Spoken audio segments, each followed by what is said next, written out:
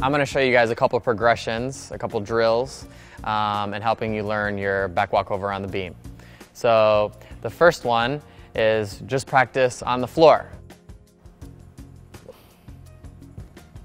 So once you do it on the floor, you can um, draw a line on the ground. That way you make sure you're going super straight, you're not afraid to wobble off the beam. And once you're comfortable doing it on the beam, a bunch, or on the floor, on the line, a bunch of times in a row, you can move up to a real beam. So um, here's another drill that you can use um, to learn your back walkover. Um, it's called a handstand kickdown.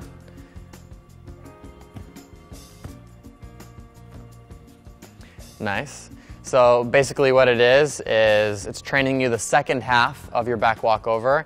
It uh, allows you to square your hips um, because you need to not fall off. After you can do the, the handstand step down and the back walkover on the line comfortably, the next drill would be to move onto a lower beam and do a back walkover without, without grabbing it. So you do it with your hands wide.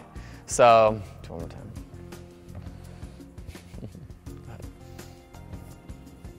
Nice. And then the last step is putting your hands together on the beam, trying it on a higher and higher and higher beam, and progressing all the way up to the comp competitive level of the balance beam. Those are my drills for learning a back walkover on the balance beam.